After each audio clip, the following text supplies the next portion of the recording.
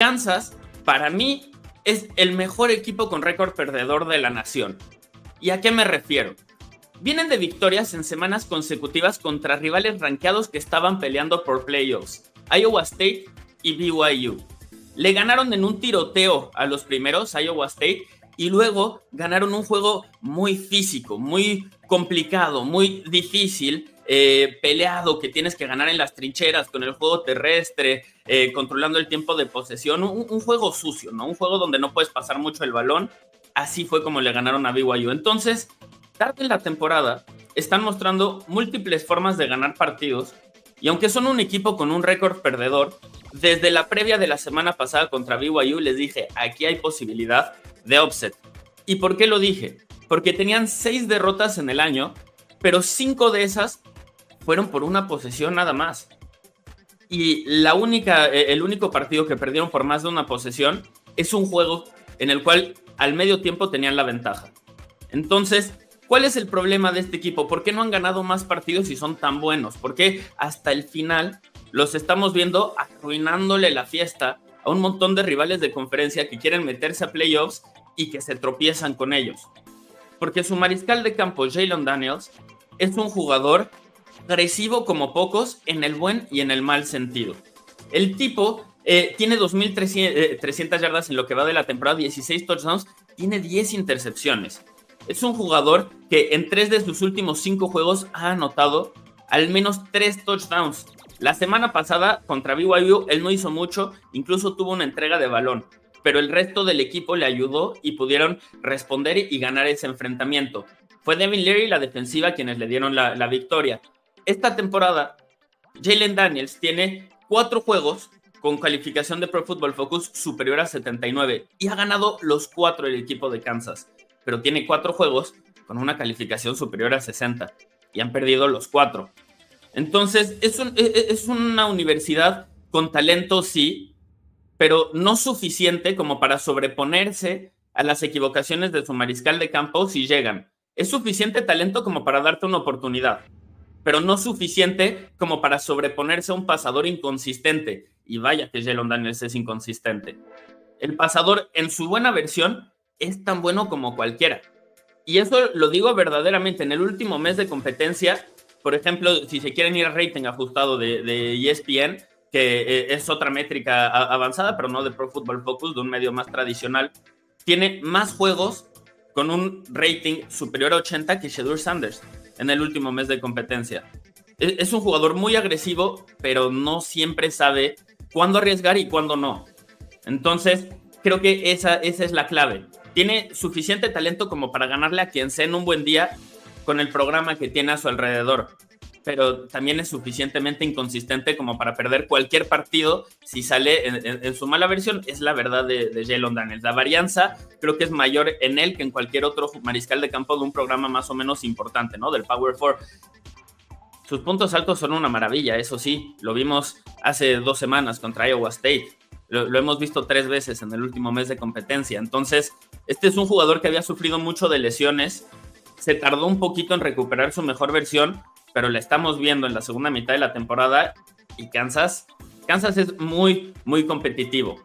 Daniels tiene 18 big time throws en pases largos, 10 en los juegos que ganaron y va a probar a todos los esquineros de Colorado. Entonces, Travis Hunter, Shiloh Sanders, todos esos jugadores es, es, una oportunidad de que levanten la mano y digan, hoy, hoy, hoy llega intercepción porque Daniels les va a dar oportunidades, no solo porque es agresivo y lanza pases largos, entonces la secundaria sí o sí la va a poner a prueba, pero también porque muy silenciosamente, muy calladitos, los Búfalos en defensiva han mejorado muchísimo presionando al pasador.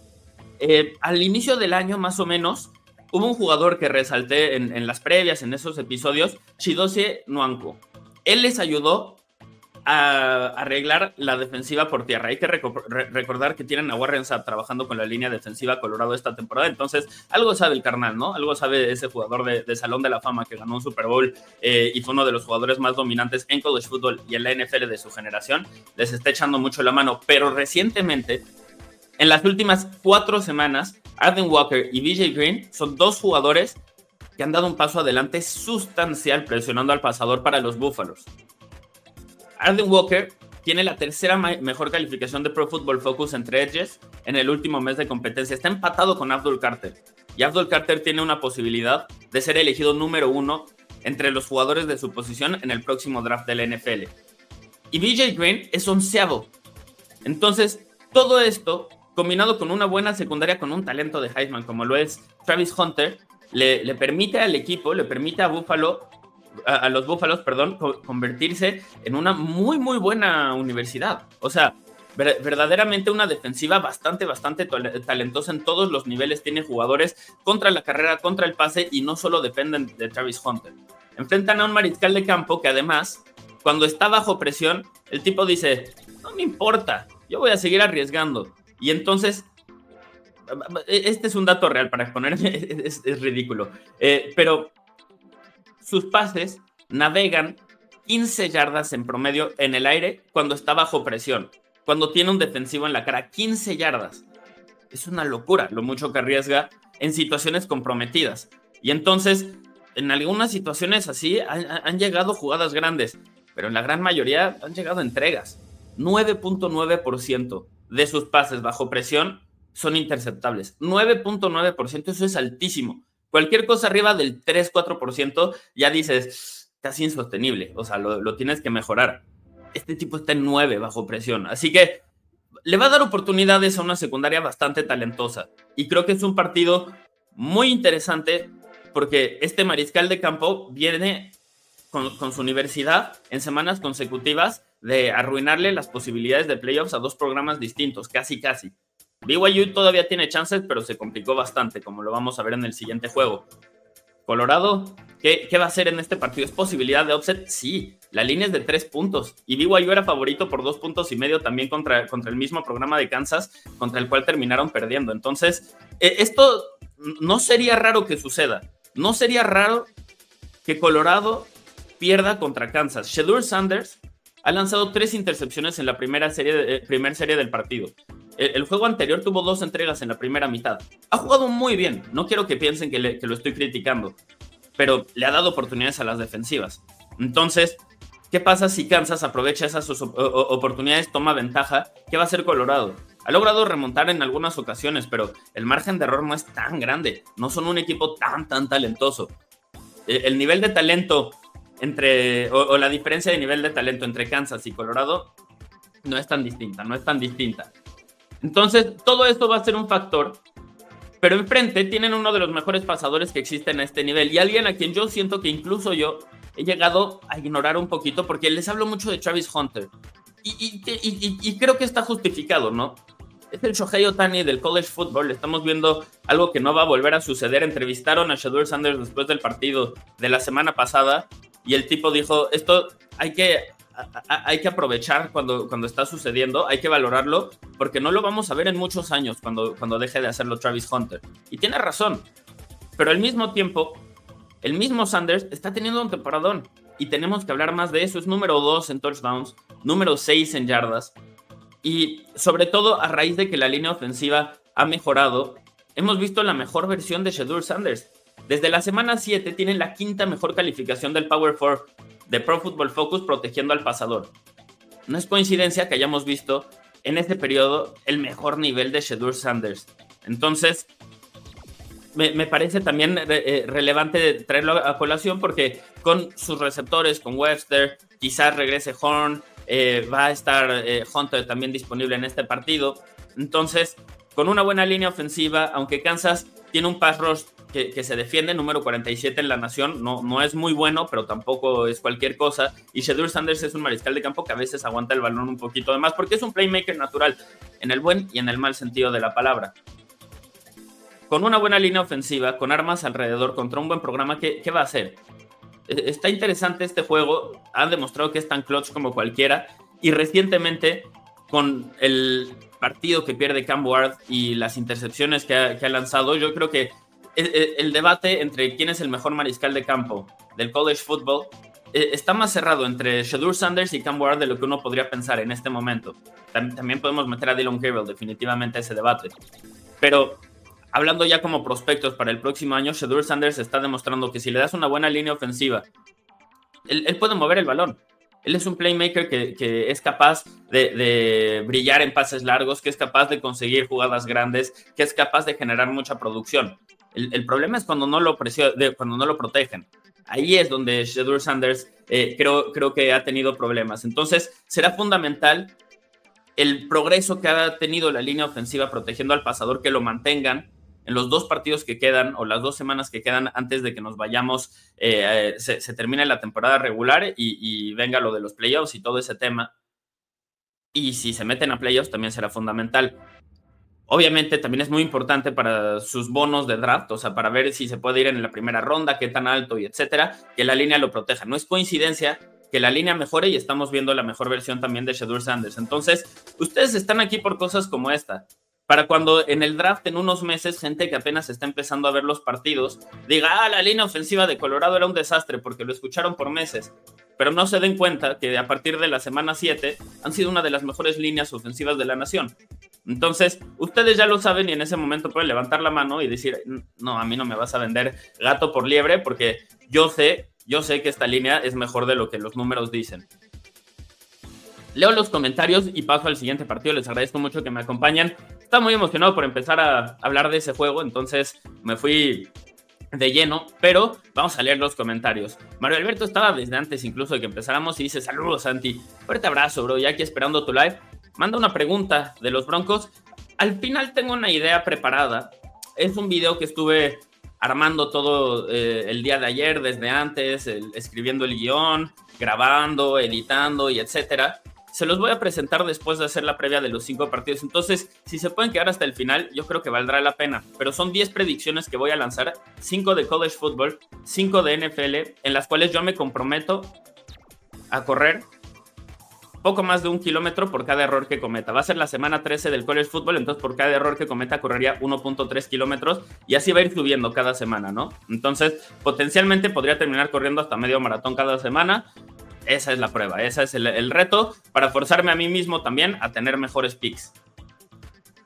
Ya lo armé, armé las predicciones desde la semana pasada, no las compartí porque fue una idea que tuve ya muy tarde, entonces se las compartí a mi, compañero de podcast para que hubiera alguien que, que, lo revisara, pero hay predicciones de NFL, hay predicciones de college football. Entonces, Mario Alberto, ¿qué te parece? Eh, te agradezco mucho que mandes el comentario y qué te parece si te respondo lo de los Broncos, ya que lleguemos a esa parte. Eh, pero si se pueden quedar hasta el final, va a estar muy divertido, va a estar muy divertido. Solo les, les, adelanto, hay una carrera con el doctor Simi ahí grabada, este, con, su servidor venciendo y venciendo. Entonces, va a estar interesante, va a estar divertido. Gio dice, saludos Santi, qué buena semana se viene. Muchos juegos definitorios Colorado a buscar consolidar su pase a la final una gran historia la de los Búfalos. Y tienes toda la razón, porque pasaron de ser un programa con un entrenador en jefe mediático, un mariscal de campo inconsistente y un candidato legítimo al Heisman que se lesiona la temporada pasada y entonces el equipo arranca muy bien y luego se caen horrible. A este año ser un equipo muy completo, una buena línea ofensiva, una buena línea defensiva. Las trincheras son mucho más fuertes que el año pasado y eso creo que se está notando en el rendimiento de todos los jugadores alrededor. Dion Sanders se nos olvida que el, tipo es muy mediático y el tipo es muy farol y muy lo que sea. Es de la vieja escuela en cómo coachea y es de la vieja escuela en cómo le exige a sus jugadores que se manejen. Es bien de la vieja escuela también en cómo construye a sus equipos. Le permite a Travis Hunter jugar en ambos lados del balón porque él lo hizo. Esa es de las pocas cosas en las cuales se diferencia un poco de, los entrenadores de la vieja escuela, pero en todo lo demás, así es como conduce o se conduce como, como entrenador en jefe. Entonces, el hecho de que Colorado se vea como un equipo mucho más físico, mucho más competitivo, que está peleando eh, por, por ganar el Big 12 dos años después de que solo ganaron un partido, tiene mucho que ver con él, pero también con el talento de Shadur Sanders y por supuesto Travis Hunter es el mejor jugador por mucho, con cierta distancia, del college football. Y no, no, no es poca cosa el impacto que está generando. Luis Alberto dice, estoy enojado con Kansas. Si no le ganan a Colorado, me voy a enojar más. Es un buen programa, es un buen programa. Yo sé, eh, dijo, me la arruinaron, no me quise eh, este, acabar mi hamburguesa. Yo sé que lo dices porque apostaste por BYU. Entonces, lástima, lástima. BYU es una linda historia, pero están mostrando algunos problemas, están, están mostrando algunos problemas. Eh, Gio dice, lo que hizo esta temporada el coach Prime es de destacar. Qué manera de darle vuelta al programa. Tendrá dos jugadores en primera ronda seguro y varios en las primeras tres. Aunque no sé si Shiloh ya se declaró no. Shiloh ya no tiene elegibilidad más allá de este año, a menos de que por su lesión le, le otorguen otra temporada. Pero él ya tiene que irse al college football, digo, a la NFL. Eh, sí, yo, yo creo que se irían juntos. Y si se dan los rumores de que Dion Sanders después de esta temporada emigra a la NFL y, le dan la oportunidad a una franquicia de ser entrenador en jefe, probablemente Shiloh Sanders se une al equipo que elija Shadur Sanders, que va a ser donde esté su papá. Entonces, preparados para ese tema porque es una posibilidad real y es una historia de película, ¿no? Cada cuánto sucede, o sea, de verdad, cada cuánto sucede. Luis Alberto dice, Santi, me uno a tu reto de correr, lo, vamos a ver, estuvo muy divertido, yo me divertí muchísimo y hay unos paisajes preciosos del Cerro de la Silla que grabé ayer que estaba súper lindo, entonces van a disfrutar ese video, van a estar, de, este, eh, van a disfrutar ese video. Víctor dice, ¿volverá a ganar Miami? Yo espero que sí. Ni siquiera puse el partido contra Wake Forest porque yo espero que ganen, pero vamos a ver, vamos a ver. Eh, veo que Colorado está reclutando bastante talento. El impacto de Dion Sanders y de Shadur y de Travis Hunter. Hoy, hoy, hoy por en día no, no solo necesitas visitar a los jugadores, necesitas que te quieran seguir en, redes sociales, que quieran ser como tú, que, que se, o, sea, todo ese tema aspiracional. ¿Y, qué programa lo representa mejor que Colorado? Yo sé que nosotros ahorita ya lo vemos un poquito con otros ojos, pero pónganse en, los zapatos de alguien que tiene 17, 18 años que ve eso, por supuesto que van a reclutar mucho mejor. Claro, claro, es, completamente normal. Eh, Luis Alberto dice, lo de la apuesta igual, tú sabes que yo apoyaba a BYU desde el inicio, desde la cuna, desde la cuna, eh, Luis Alberto. Tienes toda la razón. Ahorita vamos a hablar de BYU, eh, analizar un poquito cuál ha sido el problema. Tania dice, oye Santiago, en este canal si quieren Oregon, el, programa número uno, el único super equipo, lo he mencionado este, en, momentos anteriores, el partido anterior es su mayor tropiezo y ganaron, o sea, ADN ganador lo tienen. Si ellos mismos no cometen errores, este equipo verdaderamente para mí es el favorito en este momento, es el, más constante, el que ha ido de menos a más, está cerrando un buen momento. Y yo lo dije desde antes de la temporada, del video de Dylan Gabriel, la historia de Dylan Gabriel. Yo dije, cualquier ranking que hagan de mariscales de campo en college football tiene que empezar con Dylan Gabriel. No, no de prospectos, porque ya estamos hablando conversaciones distintas, pero sí de mariscales de campo en este momento en college football. Aquí, aquí somos, somos muy de Colorado, Tania. Eh, y Manuel Alberto dice, ¿crees que para la próxima temporada puede ser un contendiente? Carolina del Sur se nota mucho talento para explotar. 100%, 100%. La Norris Sellers es un mariscal de campo del primer año como titular, había tenido problemas de lesiones, este es el primero que completa. Eh, están bien entrenados, tienen mucho talento en las trincheras. Eh, Shane Beamer me gusta mucho como entrenador en jefe, 100% es un equipo que puede hacer cosas importantes la próxima temporada. estaban a un año de, y, y creo que lo han demostrado. O sea, sobre todo han cerrado muy bien. Es, un gran programa, es un gran programa. Eh, sí, 100%. Ketani dice, yo te apoyé con Gabriel, era un crack desde UCF y tenías toda la razón, teníamos toda la razón, qué bonito es cuando tenemos la razón, ¿no, Ketani? No siempre se, a ver, no, no siempre se pretende tener la razón ni, y, aceptamos los errores, pero en esta, qué bonito cuando, cuando le pegas y la sacas del parque, o sea, 100%, estoy completamente de acuerdo, Ketani, y te agradezco mucho que, te hayas sumado. Eh, estaba viendo los comentarios en Twitter y ya tenemos ahí este, a, gente haciendo spam, en fin. Eh, pero me dijeron sexy, así que lo tomo, lo tomo. Será spam, pero me dijeron sexy. Eh, en fin, les agradezco mucho que me acompañen. Eh, Luis Alberto, lo siento por tu apuesta de BYU. Yo sé que tú los apoyabas desde el inicio. Qué, qué, qué, bajón la forma en la que recientemente se han caído, ¿no? Contra Kansas pierden. Yo, yo, creo que en este juego Colorado le va a ganar a Kansas. No creo que se vaya a dar la sorpresa. Pero, pero Kansas sí dio la sorpresa contra BYU la semana pasada. Y honestamente, yo creo que es una tendencia. Lamento decírtelo,